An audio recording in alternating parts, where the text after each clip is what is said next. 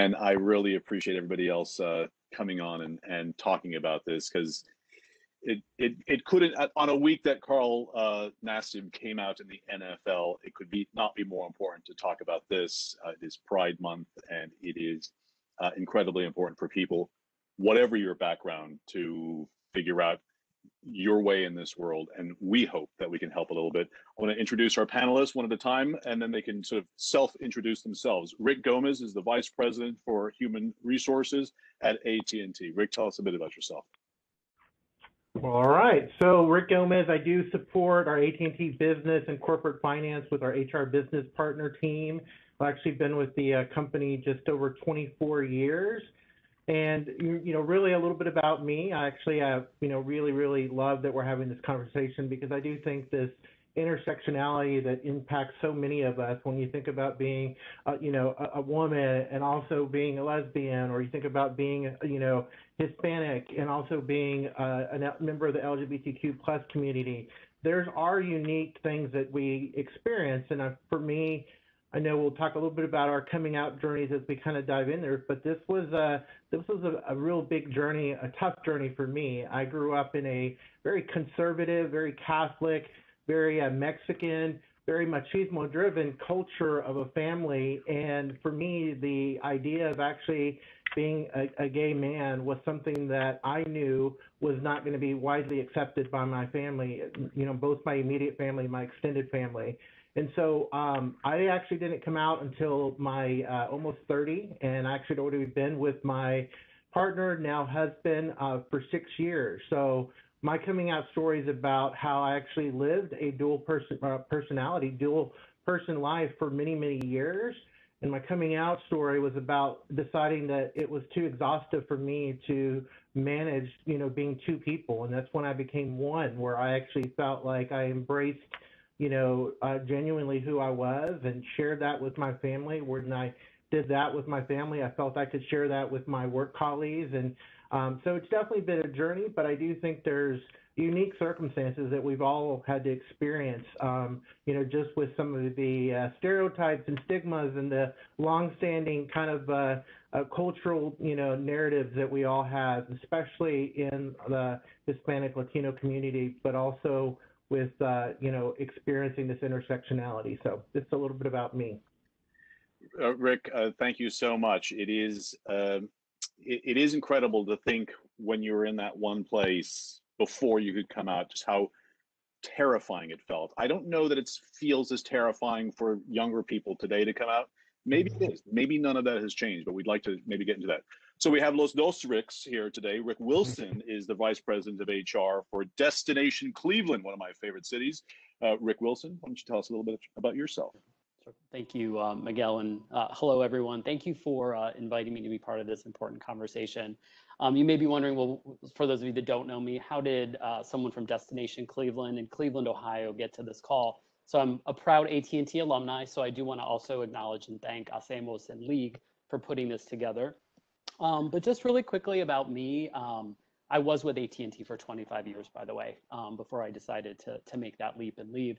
But in terms of my own background, uh, I am from Northeast Ohio, born and raised in Cleveland, Ohio. Um, I come, similar to Rick Gomez, come from a Mexican American family. Both my mother and my grandparents, her whole family is from Mexico. So I am technically first generation. Uh, and, you know, my story, I will say, as a young person was more about feeling different because I was a Latino. And then as I grew into my kind of teen years, I began to feel differently, right? And that's where I kind of truly realized like I was gay, even though I didn't say that until, you know, many, many years later. And I'll share more of that as we get like deeper into the conversation. But I will tell you, it, talking to young people today, Miguel, to your to your comment earlier, it's still a challenge. Depending, I think there's more role models that people can look up to, but it's yeah. still challenging in, in individual ways. Um, so I am like an out pr proud gay man, uh, a Latino, and uh, I'm just really excited to be with all of you today. Cool. Thank you very much for uh, for being here with us. And and those two little words, "I'm gay," can be so ridiculously hard to say for so many people out there. So, and but once you do, you I, at least in my case, I felt really stupid for ever having thought any other way. So there was that side of it as well. Uh, Kathy Martinez, uh, last but certainly not least, our favorite uh, uh store everywhere, Walmart. You are the director of labor relations for Walmart. Please tell us a bit about yourself. Sure. Good afternoon, everybody. Um, thanks, Miguel. Um, so, like Miguel said, my name is Kathy Martinez, and my pronouns are she, her, and ella, or ella, right, in Spanish.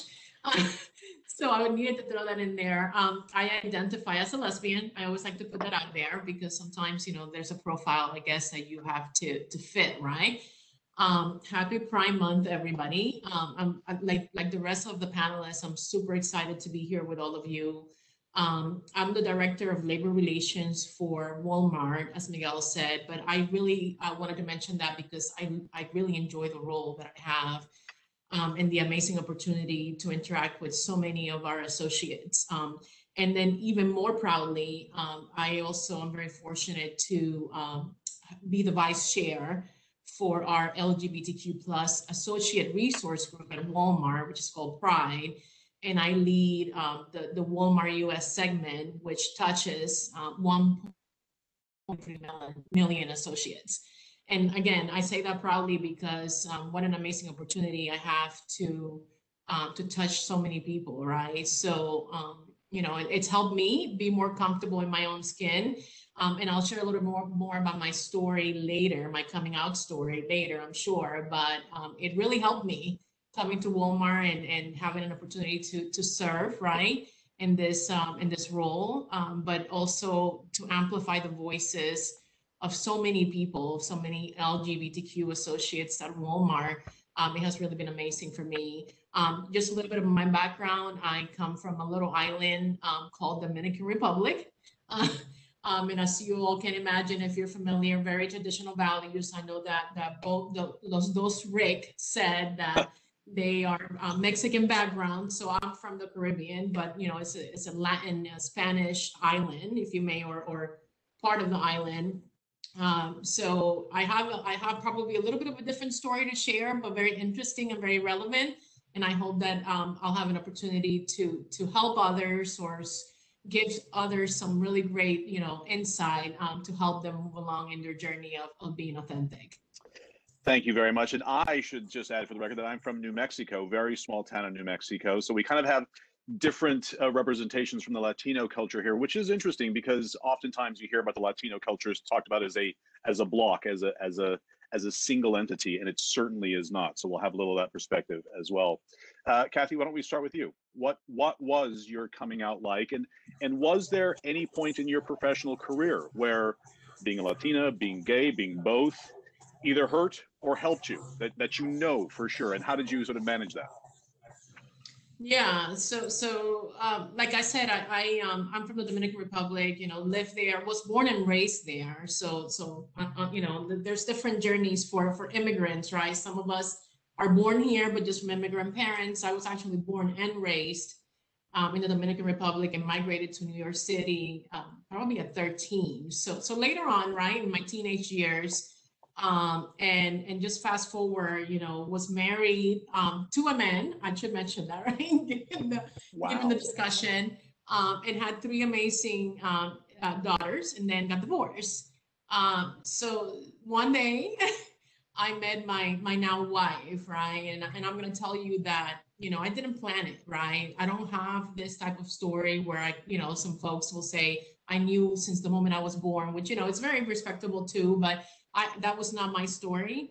Um, but you know, fell in love with her for everything that she was and that she continues to be, and and and here I am, right?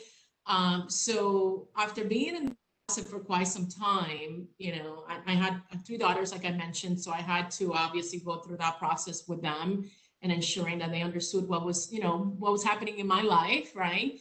Um, and then I decided after we were very comfortable as a family to uh, to tell my mom, who was probably the most immediate family member that I had, right? Um, and as, as some of you can imagine, um, unfortunately, the reaction was not a good reaction. Uh, I have to say that things are good now. Um, but at the time, you know, the reaction was probably the reaction of of many, you know, many moms, but many Latin moms, I would say. And and you know, she said things to me like, you know, why are you doing this to me?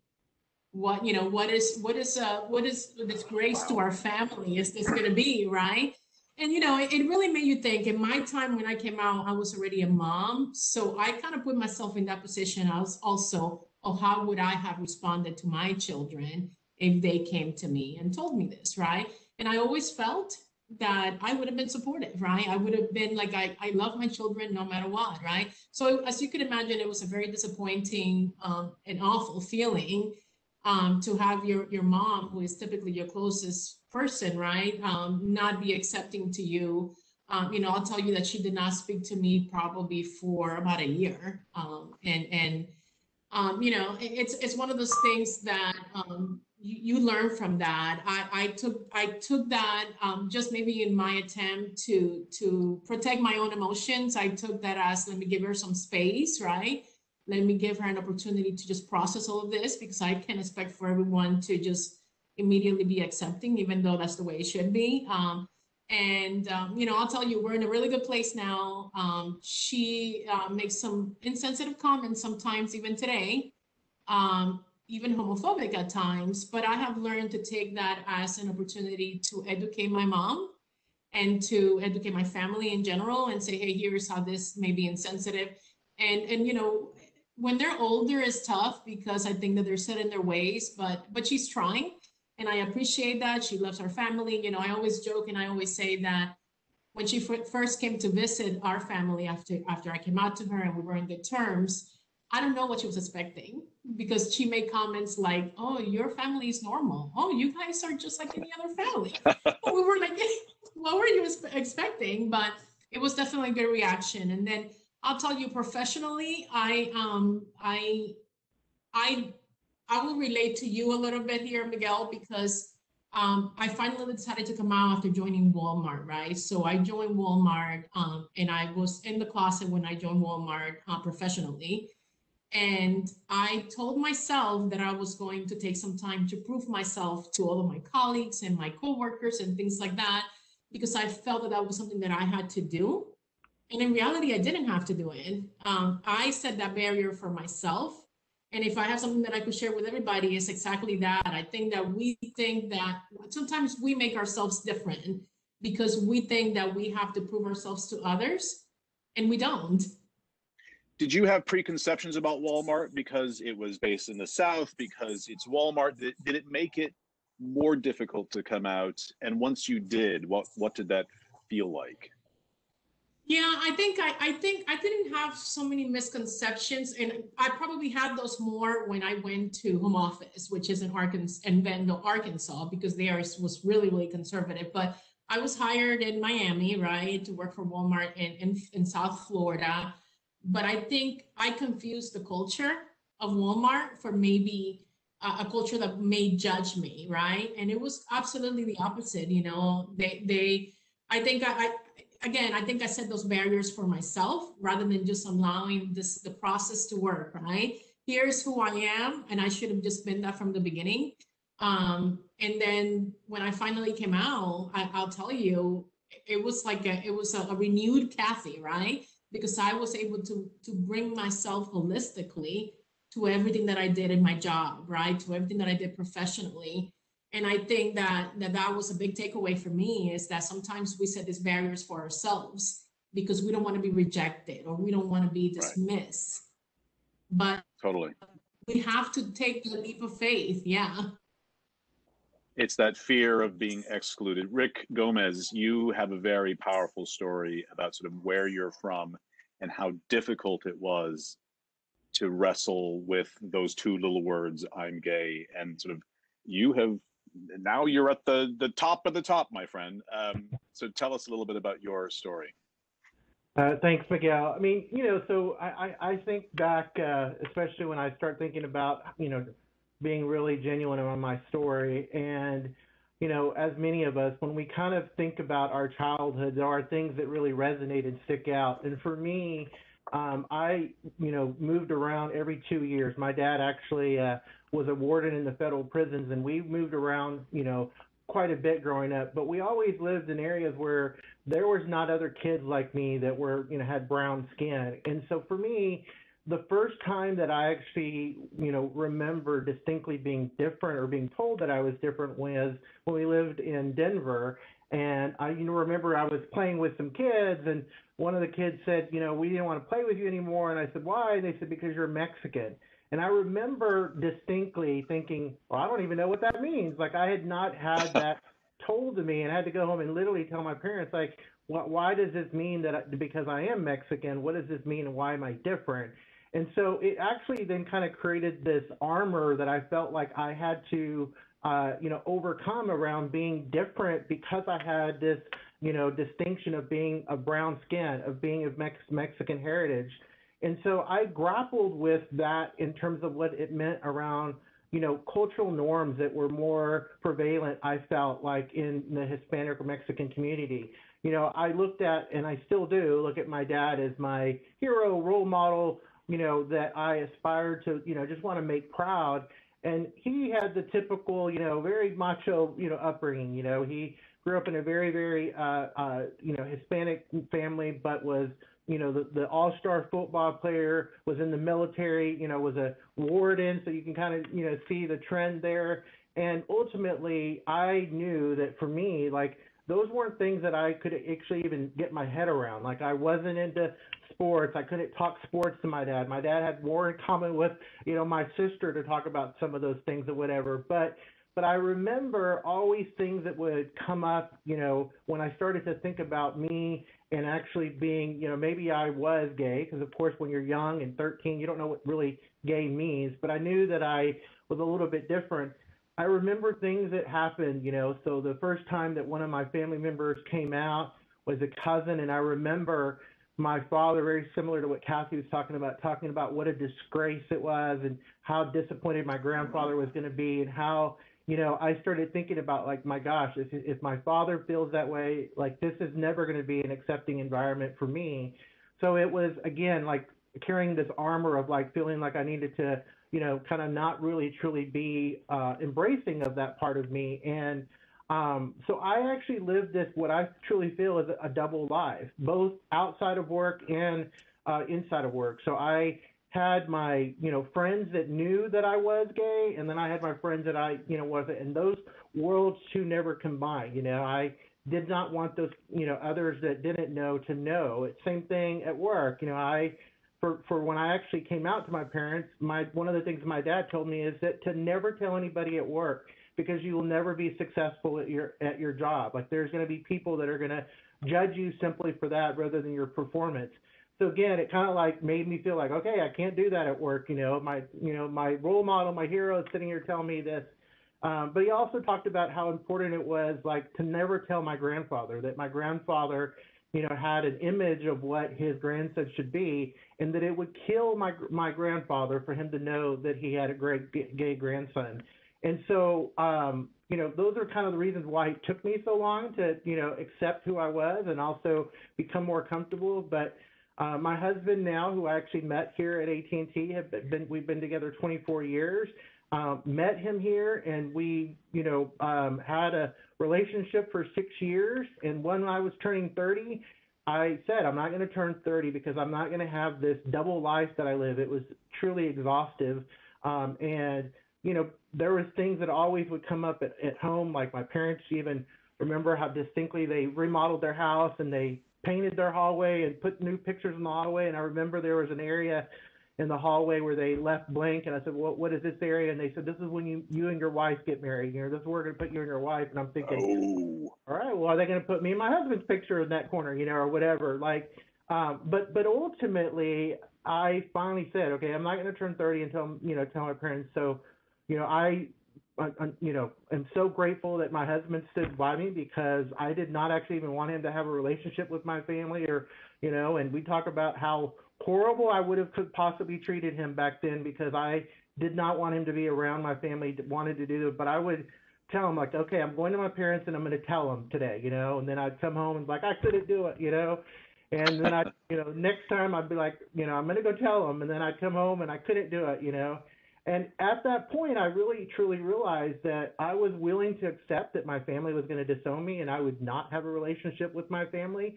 Um, but I felt like it was just too hard for me to continue to go on. And so, what what happened whenever I finally had this moment, we were watching a TV show. My dad said, "Hey, you know, I want to get my grandson a dog," and I was like, "Oh, you ought to get him a dog like our dog." And he said, "That's a in a in a derogatory way, an F kind of dog, like very feminine, whatever kind of dog." Won't repeat the word, and it hit me, and I immediately started crying, and I felt like, okay, this is going to be the moment. And after crying for three hours, and then my parents going, "What is wrong with you?" you know, I finally used those words, Miguel, about I am gay. And I was waiting for the reaction of like, you know, kind of Kathy, what you talked about and what was going to happen. Um, and, you know, I get emotional to this day thinking about how counter it was, um, how my dad, you know, said, you know, you're my son and I love you no matter what. And uh, I was not expecting that. I felt like it was so hard for me to get to that point, and I built up this uh, experience that I was going to have for it to be very different. Now, has it always been, you know, rainbows and butterflies and unicorns along the way? No, it's been it's been a journey. But I also felt like, you know, when we're talking about this intersectionality, I felt like there was this added pressure that I wasn't Mexican enough. Um, and, you know, even when I was telling you all about like living in Colorado where I was predominantly the only, you know, person of brown skin, then I moved when I was in high school to an area where I was, you know, in not in the minority. It was predominantly Mexican. And I was always being told that I was a coconut. That actually, if y'all have ever heard that about being brown on the outside and white on the inside, that I acted too white, that I dressed too white. And so, you know, for me, it, it, was always around like this energy of like having to be more, try to act more Mexican, whatever that felt like, and then act less gay. Um, and so, you know, like I said, it's been a journey, and and uh, definitely I feel very blessed that my family has accepted my husband and I, and we are in a great place with both of our families. Um, but but definitely, uh, you know, it was a, it was a tough journey to get here. So. Rick, you are making us all emotional. You're, this yeah. is too much. Uh, well, well, first, the first question is: is uh, is the picture of you and your husband now in that spot in your parents' home? Uh, yes, there is a picture there, ah. and, uh, and uh, the other thing that I will say that um, you know really kind of changed things for my dad. That um, so many many years ago, um, we had a horrible like six weeks where um, Trey, my husband's uh, aunt, was killed in a car accident, and then two weeks later, my aunt passed away unexpectedly, and then a month after that, his grandfather passed away, and then a, you know, a couple of weeks after that, I had an aunt passed away. So there was all this trauma and death in our family. But what my dad realized is that he said, you know, son, he says, I've always, you know, you know, been happy for that you found somebody, but what I didn't realize is that you're just like your mother and I. Like Trey is your mother to you, you know, and you're a family. And I saw how he was there for our family when we needed him to be for our family when we were dealing with this, you know, trauma, and you were there for his family.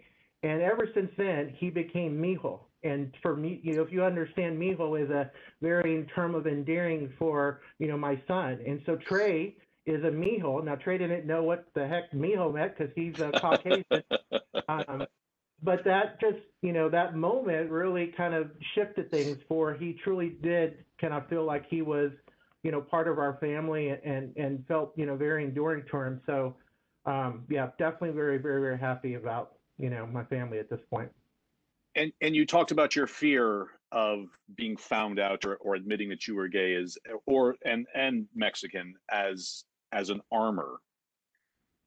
Professionally did in in coming out? Is that a stronger armor? Did you drop the armor? What i mean it it seems to me that the honesty is perhaps the strongest armor of all but i, I don't i wonder how you think about it now. Yeah and miguel and you know my good friend rick knows my journey at work and has helped me along the way and i owe him a lot in terms of uh, you know lots of uh, really really in-depth conversations but um, but for me i pride myself in being a person of high integrity and character and for the many years here at this company where I lived this double life, I actually made up this other person. And for me, I struggled with I wasn't being honest with people. You know, I really would make up like, you know, this girlfriend that was named Chris that, you know, was my girlfriend when really the, you know, Chris was not my girlfriend, you know, but like, and I would make up excuses for what I was doing on the weekends or I was, you know, how I was spending my time. And, you know, once I finally determined that that was not something I could continue, and I truly became more authentic and genuinely with my relationships at work, and people understood about me and Trey and my family, I actually do feel that it enabled my performance because I felt like I could actually be more genuine and I could have more authentic relationships with people at work where I wasn't guarded and I wasn't kind of being more, you know, um, you know, I don't know, reserved about, you know, letting people in. Um, so I do think it, you know, from a career perspective, um, you know, I definitely felt like once I was, you know, not having to live that other life and I could just truly let people, you know, know the whole Rick Gomez. Um, I do think that's kind of when I, you know, felt like I was, you know, able to, you know, get my full stride, if you will, at work. So interesting, very interesting. All right, Rick Wilson, you that's you have a tough job, my friend. Uh, following that, uh, tell us about sort of where you are now and and your coming out and and what it did for you sort of in your life generally and professionally. Sure sure. Um, well I'll, I'll keep my story maybe a little bit shorter just to make sure that we've got time at the end for some q&a but you know as i mentioned earlier i grew up in a very very strict catholic mexican household. So as i mentioned my mom's from mexico but my dad was white but my parents divorced when i was three and so grew up in a very very mexican latin culture and um, very catholic as well similar to gomez. Um, and when my parents split my abuelita helped raise us too. So grew up with spanish um, very catholic. And growing up my my grandma always used to ask me like are you going to be a priest? Like that was her that was her wish you know to have her grandson be a priest. But i knew that that wasn't my calling. And you know, I would also say for my family, we kind of had a, have a culture, a family culture of not always talking about how we're feeling. We don't talk about certain things, right? And so for me, I never was comfortable talking about how I was feeling different with my family. Even though I'm incredibly close to my mom and I have two older sisters, I, I never felt comfortable or in that safe space because I didn't want to be something that they would be ashamed of um, very similar to some of those issues that we've heard other people struggle with as they were trying to come out. So I just kept it to myself. And my way of dealing with that was I turned to food. That was my comfort. so I became the the slightly overweight, moderately overweight high school kid that was eating his feelings, um, which you know just brought on a whole nother layer of just kind of trying to fit in. You know, being an, an overweight kid in high school. But it wasn't until I got to college where I started to finally feel more comfortable in my skin. And I, and I just can't, I just want to give so much credit to people that are role models. So, you know, thank you to, again, for, for all of you put this call together, because I think sharing people's stories and hearing people who've lived these experiences is so important. But I had a, a college professor who was the very first gay person that I actually looked up to because in my world everyone that i looked like if i turned on the tv i saw jack tripper on three's company like stereotypes of what gay people should be. I saw Liberace and Walter Mercado and just people that that didn't look or act like I did. And so my college professor really inspired me. And, and I will tell you, he was probably by most people's standards the most average person. Like his favorite drink of choice was a Bud Light. Like he was just your average, uh, you know, run of the mill gay guy um, very similar to, to the way Kathy was talking about, like her mom's reaction, like your family's very normal. Well, that's that's how LGBTQ people are in most cases. We're just we're just living our lives. And it was in college that I got more comfortable and finally, you know, joined. Um, we weren't allowed in my college to have an LGBTQ group, but rather we had an allies group. It was a Catholic university. And so we weren't allowed to talk, technically talk about being gay, but we could have the allies group to support it. But of course, most of us that were in it were LGBTQ or, or just like really, really strong allies. So I was out in college, and as I transitioned out and I started working, I actually went back in the closet because I didn't know how the work world would perceive me. So I was living two lives, but my outside life was out. I was, you know, with my friends, doing doing what young LGBTQ people do on the weekends and in the evenings. But when I would show up to work, I was, very, very much closeted because I didn't want to be ostracized or treated a certain way. Because again, there weren't any other LGBTQ people at work that I could either connect with or felt comfortable looking up to. So it took many, many years to actually get to where I am today. And for those of you, I, I see a lot of friends that are dialed into this. Um, you know, I'm just truly now just who I am, right? I I, I never formally came out at work. I just started to live my truth. And so if people knew me or worked with me, yes, I have a boyfriend or yes, I have a, you know, partner. That's how I would use the language. I stopped worrying about it. And I think part of it goes to the culture of the company that um, you work at, right? So if you're comfortable, if you understand what the company values are, you start to understand that it's okay to be who you are. And if people treat you differently, there's channels to address that, right? So, so I, I think that's probably what got me most comfortable, and I give so much credit to AT&T for helping me feel so comfortable in my skin because it was truly part of my professional experience. I wouldn't be here today without it. Well, and after all of us, you know, at least my speaking for myself, gaining the COVID nineteen over the last year, you look great now. So clearly, uh, your uh, your eating uh, to uh, your eating your feelings has has subsided to some degree at least, uh, which is good. Uh, and professionally, did um, I mean you didn't really come out at work, but did it make you a stronger employee? Did it did it change the way you you uh, interacted with with your colleagues? Did it change the way you made decisions? I would say Yes, for and, and just an important thing that I forgot to mention. So when I started to get involved in some of the diversity and inclusion work, the very first group that I joined was the Latino or the the Hispanic employee group because I was in the closet. And it was there that I started to build connections and start networking professionally. So I would say being more authentic, yes, it has. It has helped me professionally from the perspective that I've been able to increase my network and just grow professionally without the connections that I've made both from the Latino group and also from the from the LGBTQ one. Like just the mentoring, the relationships, in the mentoring both ways, right? People that I've helped and vice versa. Rick mentioned like Rick and I had so many conversations about him coming out at work. And it was always I always used to joke, and Rick, you're gonna get so mad when I say this, but I'd be like, Rick, everyone knows you're gay. Like, like you're living in this like this world. But those are the kind of conversations and the friendships. And so those relationships, I would say though, quite honestly, is you start to work day in day out. Like relationships matter in business. And so yes, I would say it's helped me immensely.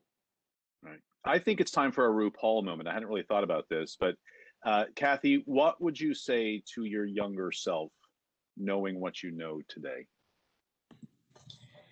Oh wow. Um, you know, I, I would say, I, you know, I would say because I, I know this has been the experience for everyone, but I think that when you're young, you're fearless, right? But then I think that we all, um, when we experience fears, that kind of draws us back in. But I would say just, just put it all out there. You know what I mean? I think it's about authenticity at the end of the day. I think it's about just accept, you know, we have to accept ourselves for what we are and I think it begins with us because we're looking for acceptance from others, but we're, not accepting ourselves, then that, that's where we're failing. I think I, that that's probably, I know it's not ultimately like and hugely profound, but I, I would say, and I, I teach my daughters this all the time is have a voice, you know, stand up for something like I did when I joined this, this resource group, like, like, like Rick said is, I went in there saying, okay, let me see what I could do for others, but it helped me tremendously to hear other people's stories, right? So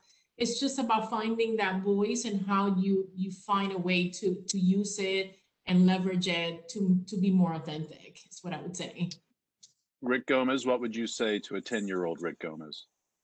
So I know this is a campaign and an organization, and there's a lot around this, but it, that it gets better.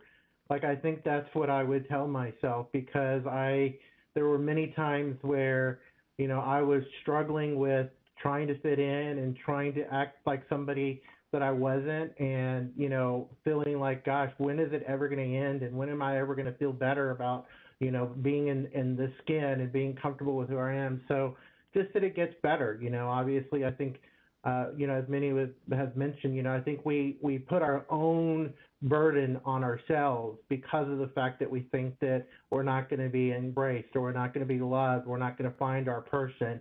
And I think ultimately, you know, just being able to have, as Rick mentioned, like these role models and other people that you can see. I grew up most of my time in West Texas, and there was not anyone that I knew that was gay. So I, I didn't even know who to aspire to look up that was successful or doing, you know, okay. So I think just that, just that it does get better.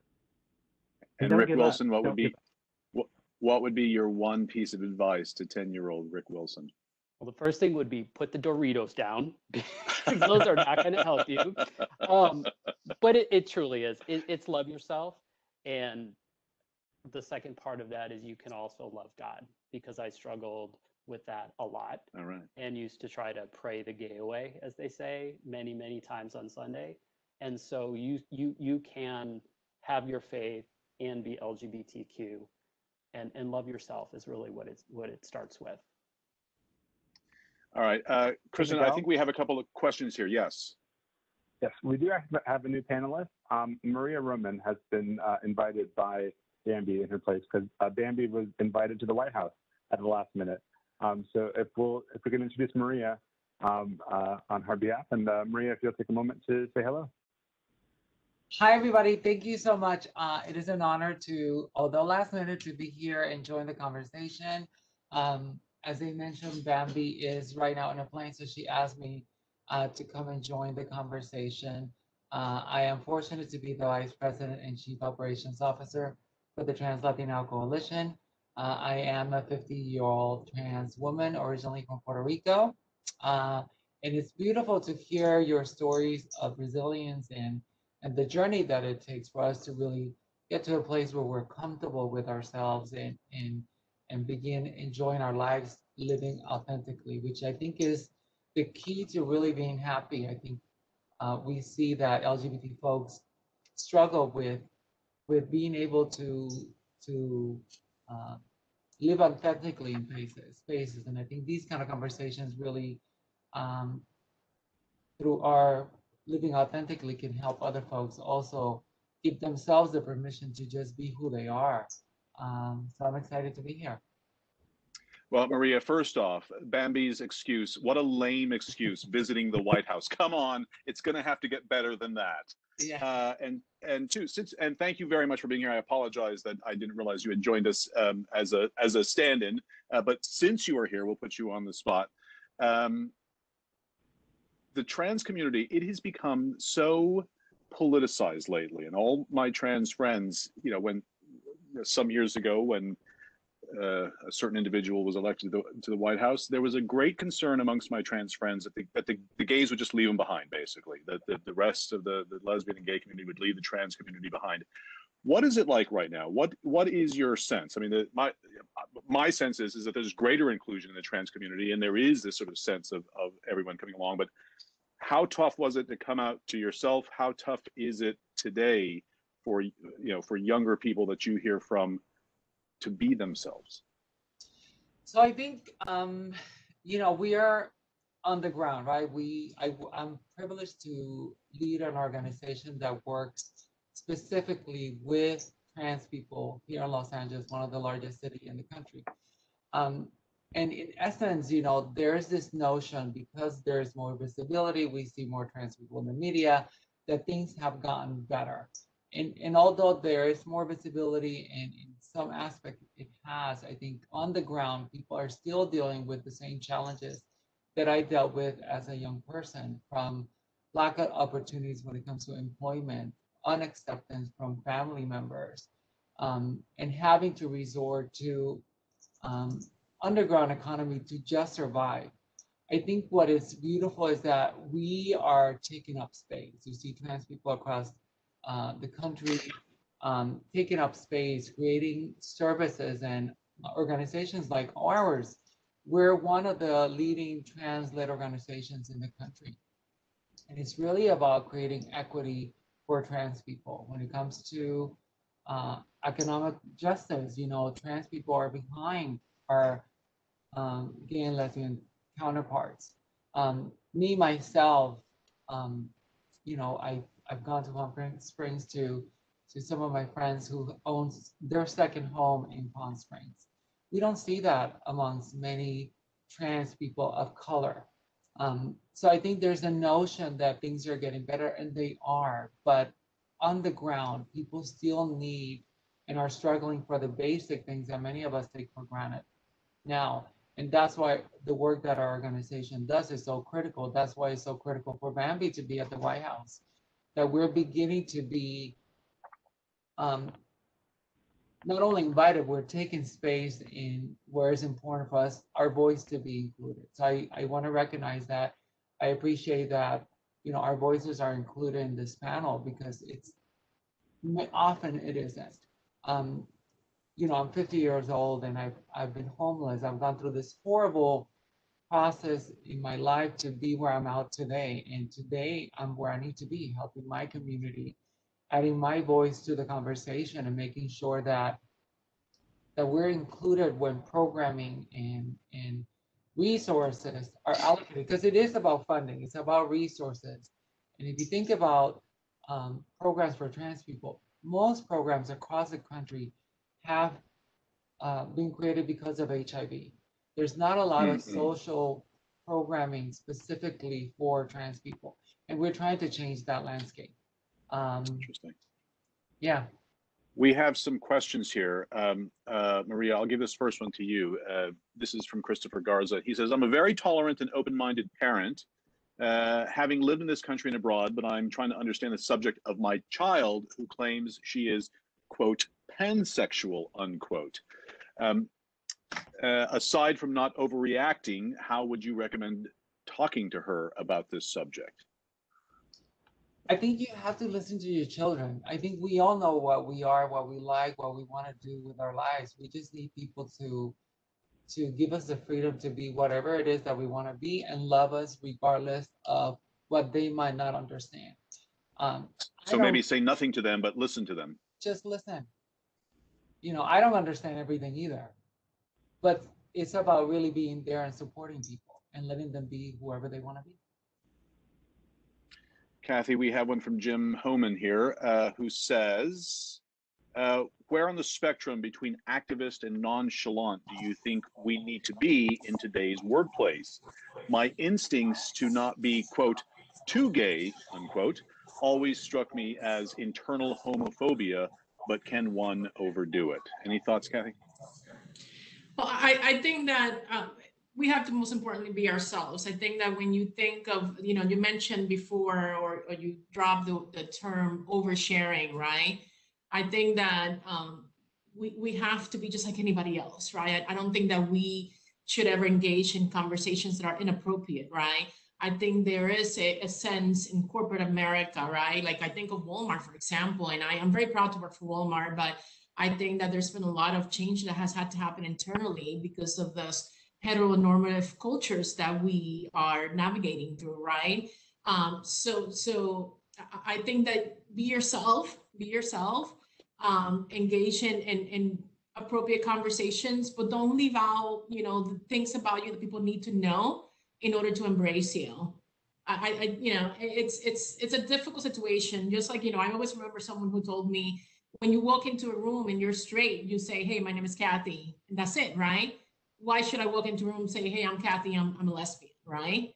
Um, um, I think that we need to just, as we reach for that equality, we need to behave equally, right? And I think that that's, that's a, a, a good rule of thumb.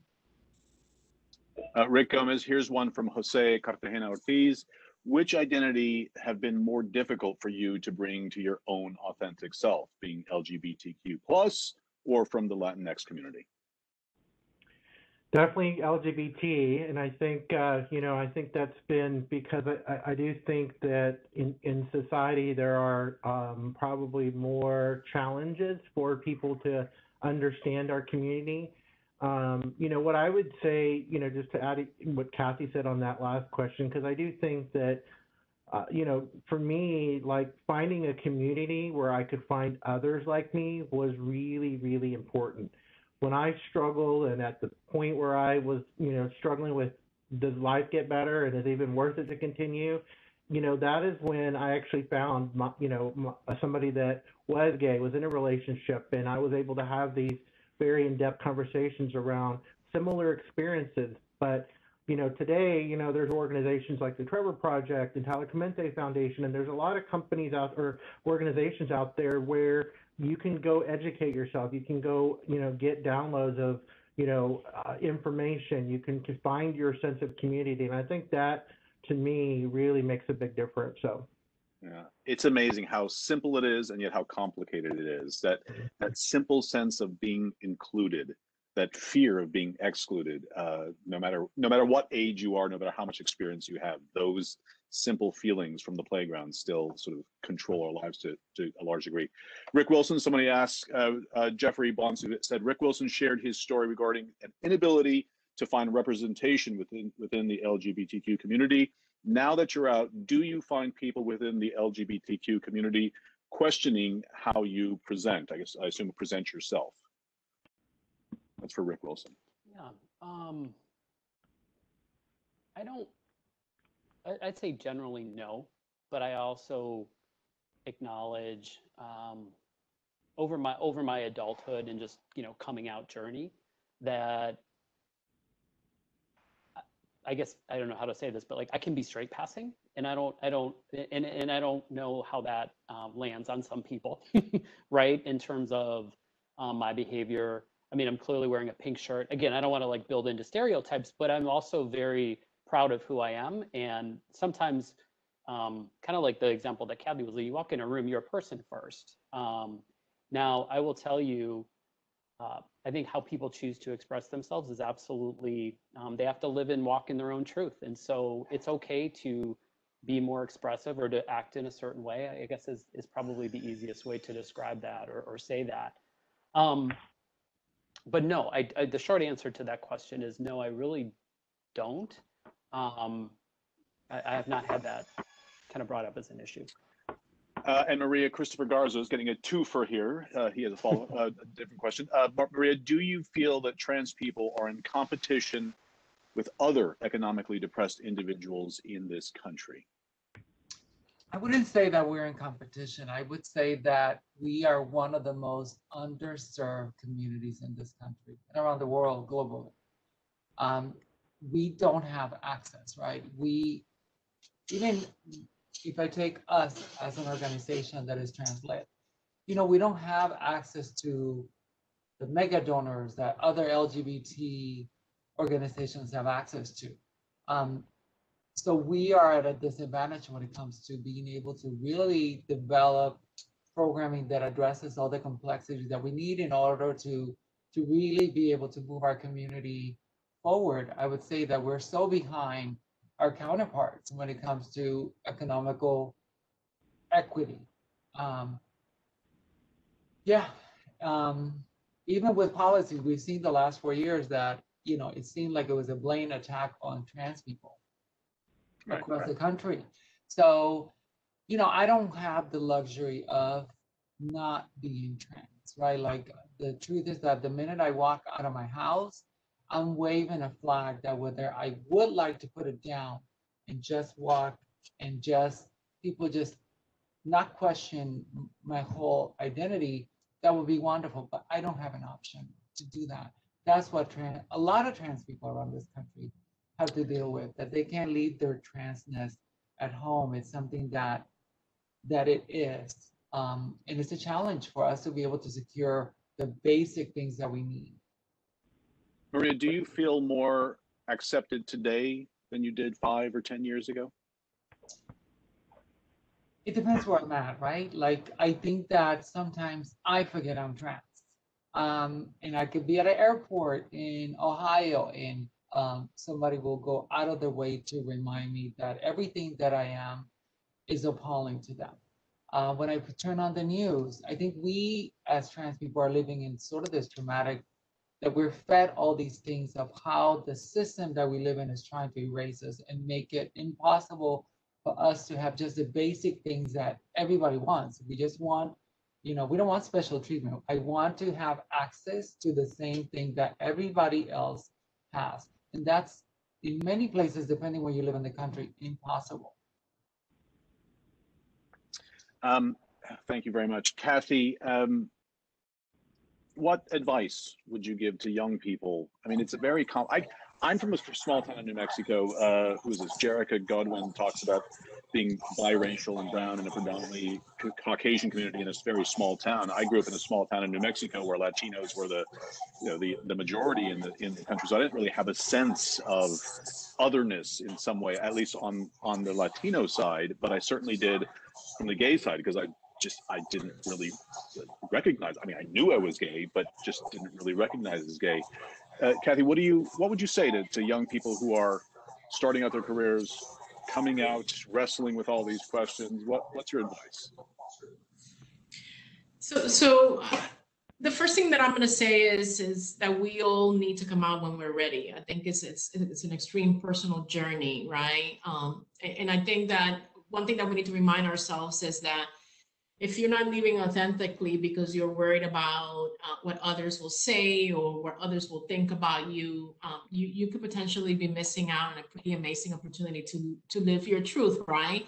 I think that many organizations, and I, I will again use Walmart as an example. You know, people like us, we're pushing organizations to be inclusive, but mean it and do it, right? It's not just saying I'm inclusive. We are you know, I, I always remember people used to talk about diversity and inclusion, right? And I said, do people realize it's two separate things? You know, because diversity happens very organically in many organizations. Because like Walmart, right? We hire people from the communities that we serve. They come to us to work there.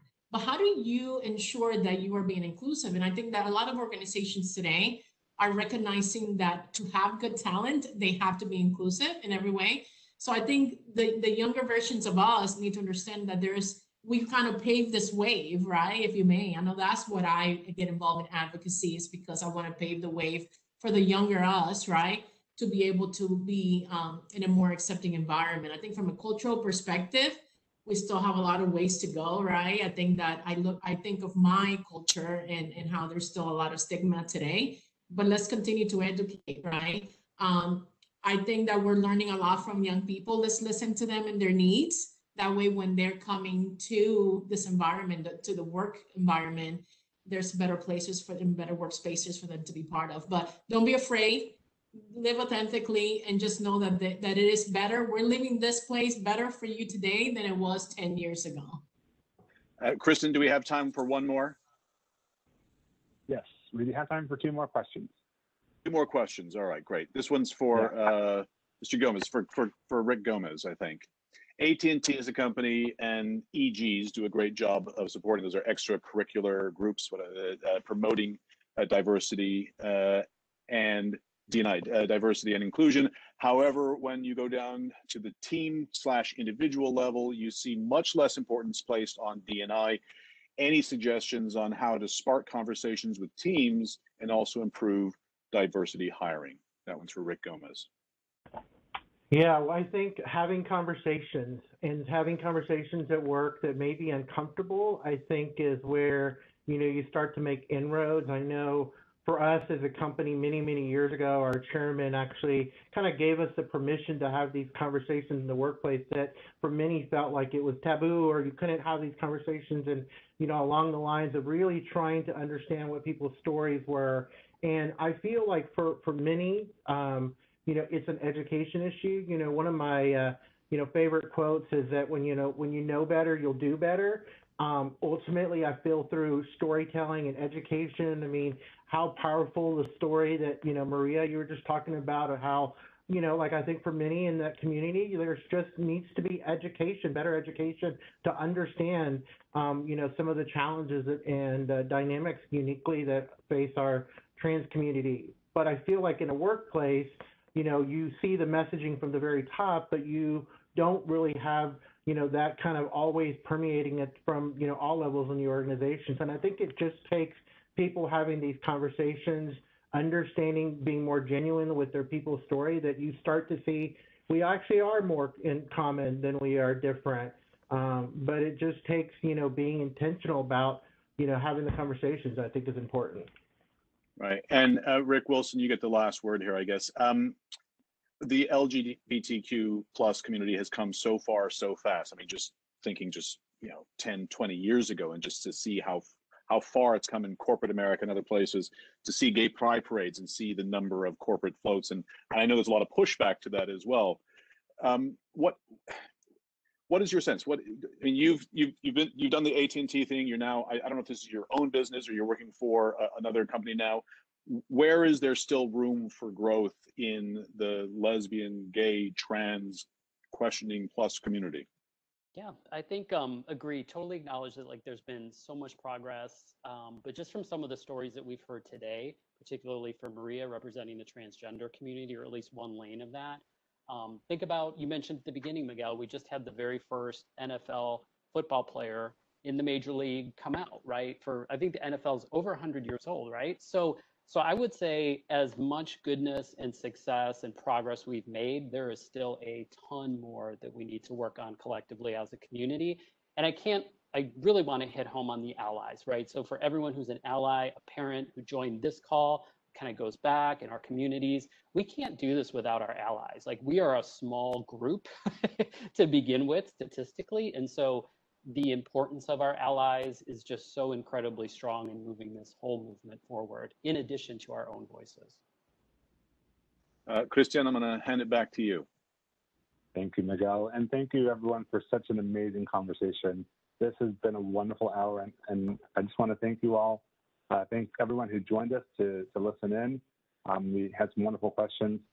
Um, so thank you again. Happy Pride, and enjoy the rest of your month. Have a good night, everyone. Thank you. Thank you all. Bye, everybody.